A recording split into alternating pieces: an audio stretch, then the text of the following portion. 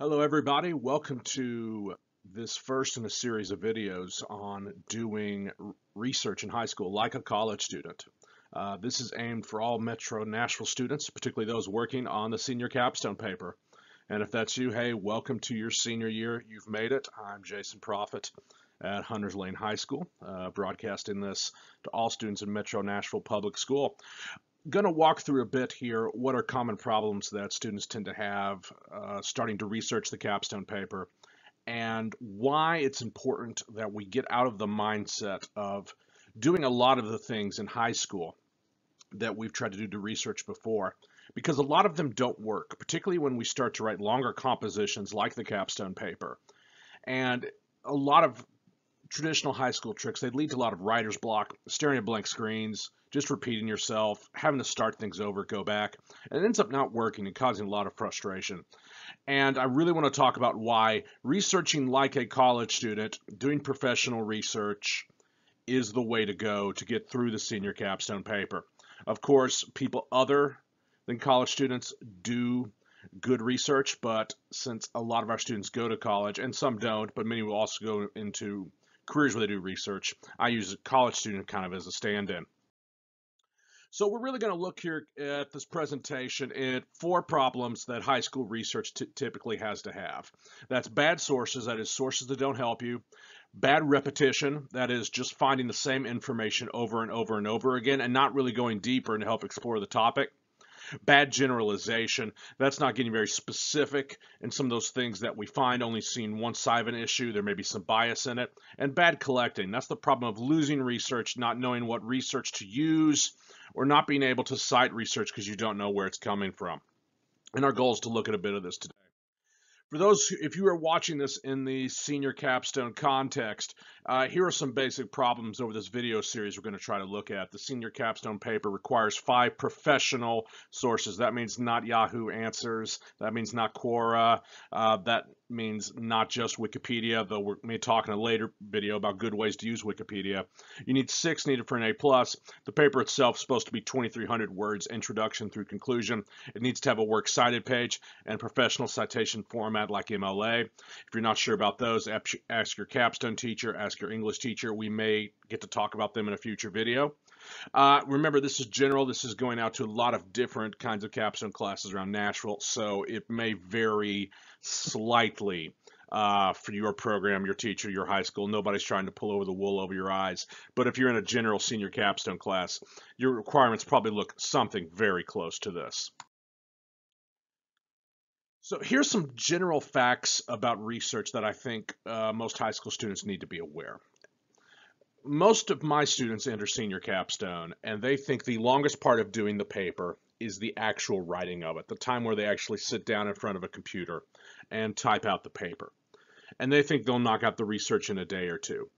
But that leads to a lot of problems. The research should actually be the longest part of, of the process. You need to become an expert at your topic before you try to write about it. Otherwise, you won't have content. That follows a certain logic. If you don't know something about a topic, you're going to have trouble finding enough to say about it. So it's very important that the student goes and tries to find the research. Otherwise, you end up with writer's block. And there's no worse feeling when trying to write a 2,000 uh, or 2,300 word paper and you type out everything you've found out from your three or four quickly Googled sources, and you look down at the bottom of a word counter on Microsoft Word, or or you use the word counter in Google Docs, or you or whatever program you like, and you have 700 words, and you realize you have at least 1,600 more words of things to fill, and that's the problem. As in your sources all said the same thing. They didn't get around enough side of the topic. You need to do more research. That student with that problem staring at the blank screen, they weren't ready to start writing. They should have found more research. They should have made better outlines. Uh, they perhaps should have narrowed their topic a little more. If you want to avoid that feeling of, I just don't know what to say at all, not I have a lot of information, but I don't know where to start, that's a problem for a later video, and it's very normal and part of the process. You've got to have good research. And for my successful capstone students, the research is the part they spend the longest on. Reading sources, finding better sources, judging sources, getting information from sources, and continuing to narrow their topic. Uh, the ones who do long research, they have to start over a lot less because they're becoming experts. They have to go back and they're not re and look for things anymore, and they don't and they become less frustrated. And a lot of times when my students become frustrated with the capstone paper, where they want to actually go change their topic, they want to do something completely different because they think that's the only way and that's the problem. When in reality, they just need better ways to get information for the thing that they are interested in. If the student just changes over and over again, they're going to keep repeating the same process over with all their topics. What you need to learn to do is research like a college student, and this video is sort of the first step in looking at that. And so again, we talk about the student. If you it, poor research will create writer's block, and you end up, if you know my students, I have to throw a meme in somewhere, uh, and you end up here like this Indiana Jones villain. Um, this is like some of my capstone students when they've found three or four sources and they've kind of half read them, and they're staring at the computer and they're wondering uh, what am I actually going to be doing here? Well, if you actually make a plan, if you find a lot of information, you'll have a lot of information to tell people. And figuring out what you're exactly going to say becomes less of a problem. It's not automatic. They're still outlining. They're still thinking about what do people need to be introduced to to understand things like how I do. But I'll just say this: if you, through research, do not understand the topic yourself, uh, you have no chance, and you're more likely to become skeleton man than write something that people want to read and is interesting. And we want to write things that are interesting to read and enjoyable. And so that's why we need to do better research, uh, to invest a lot of time in research, to ask our teachers to help for research, to ask our school librarians to help with research, uh, to find experts, to interview people who know something about the topic and ask them for help on research, to go to libraries or to have books sent to us from libraries, to search their databases, um, and to do source mining. And that is why we need to do good research. Otherwise, it's just going to become painful. And so again, we're looking at these four problems. Bad sources, our sources aren't helping us. Bad repetition, our sources are also telling the same thing. Bad generalization, it's not getting to the heart of the matter. Maybe there's bias. And bad collecting, which is we're just finding a bunch of stuff. We don't know how to keep it, use it, and work with it. Um, so let's talk just briefly, just sort of conceptually about each of these and how a college student, how a professional researcher might seek to begin to address them. We'll get into the hows in a later video, but we really kind of need to hit the why here first. So the problem of bad sources. And by bad sources, we mean the source is wrong, it doesn't have citation information, um, it's it's out of date, it was it, which means it was good at one time, but now it's not.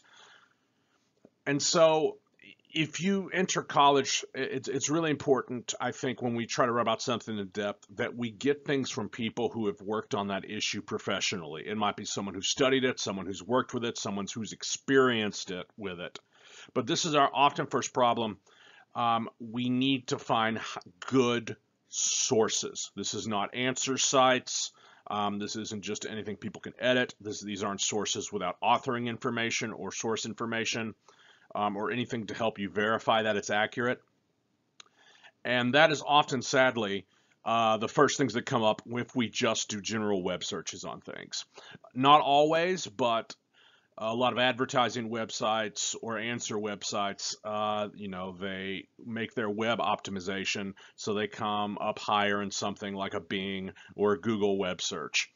And the best quality stuff may not be immediately visible uh, on the internet or it might be behind a paywall. And that's sometimes why we have to do more professionally searching things. And I, and I tell you, if you want to become an expert at something and really share your knowledge with people, you're reaching the age where just Googling things isn't going to be good enough. Uh, the other problem is bad repetition. And I think sometimes my students kind of understand problem one well, but problem two kind of is, is sort of the first trap of if you don't understand problem one and you do start Googling things. Like I have had so many students and I teach in a health academy uh, want to do projects on nursing. And they, they should really write that topic out as a question, but let's just say they want to do something on nursing. And so they Google nursing and they present me with a bibliography on the first six things on nursing that they found and they start writing about them and they all say the same thing. They all say what nursing is and generally what what people from nursing have to learn but that's what all six of those sources say, and the kids write that down, and they have very little information uh, because it's really just general stuff. So I'll just repeat, repeat, repeat, repeat, repeat. What they need is a little more variety. They need to take that topic and, you know, how does, what types of nursing are there in 2020? How do each of these nurses get educated? What, what are the daily problems that these certain types of nurses have to deal with? Um, how does that look in different countries? You really want to create a lot of questions about that and find professional sources dealing with those. And that, that often comes, like with problem one, into where we do our research. Be that, be that in a live place, be that with a person, or be it in an electronic database. We need to find sources that deal with lots of sides on the topic and not just repeat the same thing. The capstone paper is not a race to get to five to six sources. It's a it is a quest to become an expert at something, to deliver analysis, opinion, and information and explanation about it, not just to find things that repeat themselves and then add our writing to that repetition.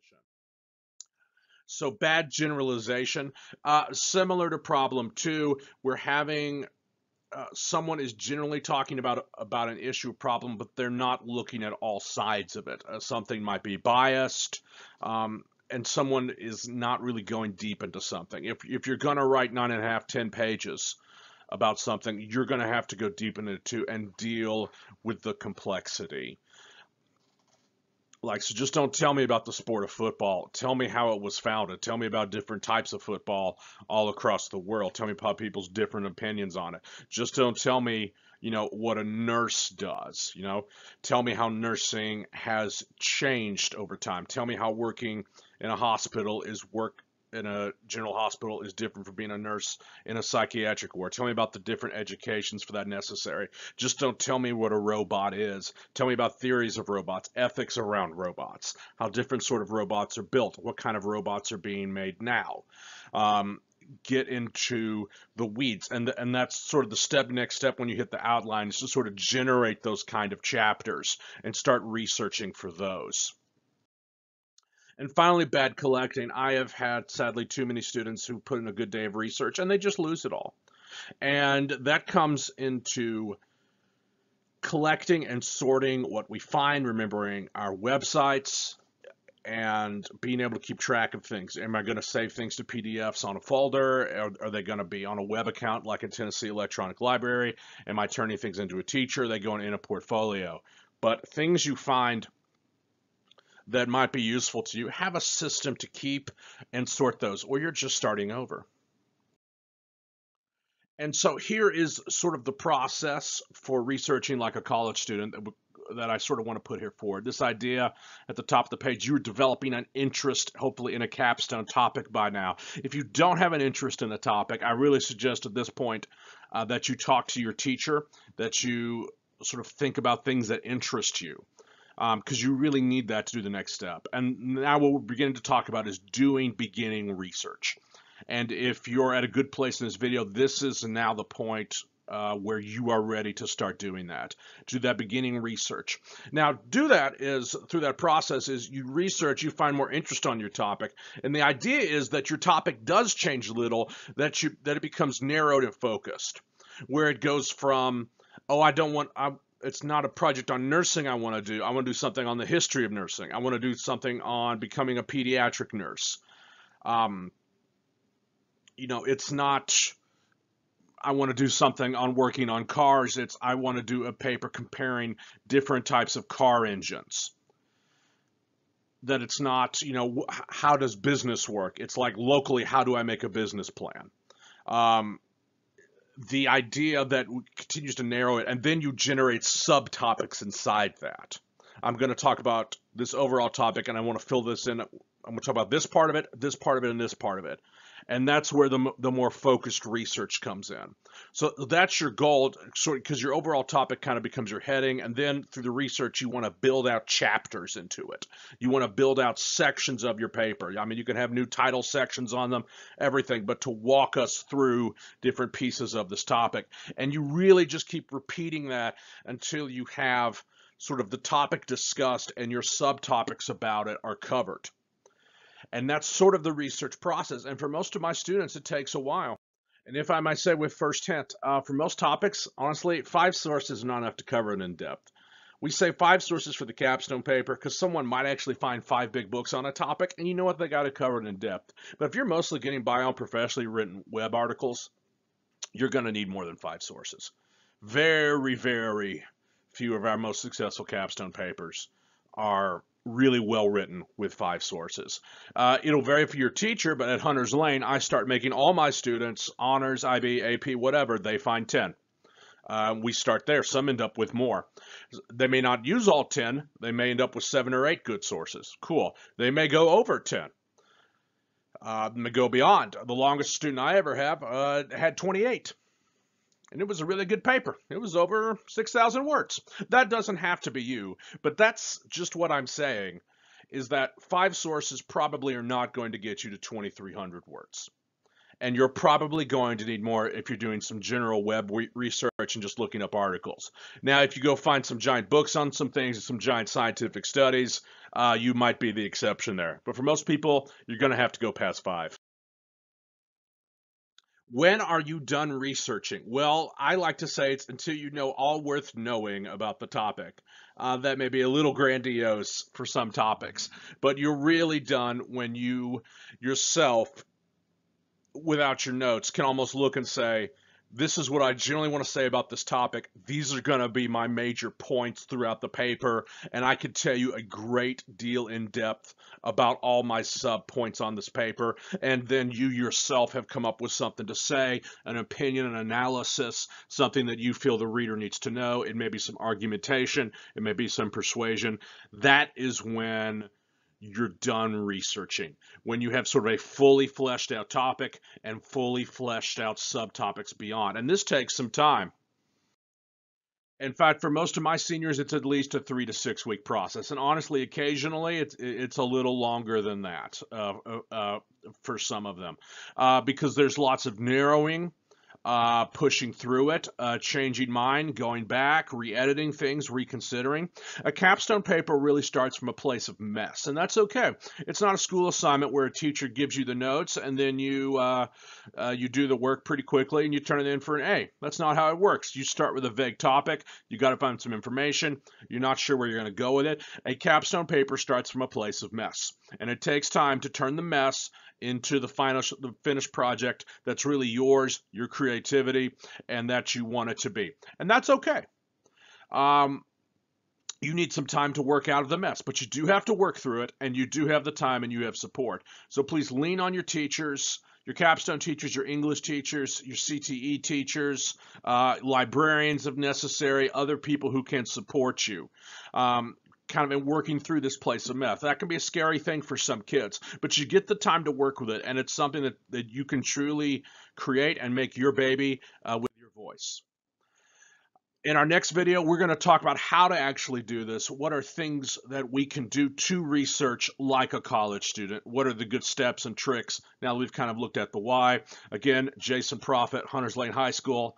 Uh, thank you for joining us uh, in sort of this first research video. If you're a senior and in capstone, congratulations on your senior year. I wish you successful researching and a successful project.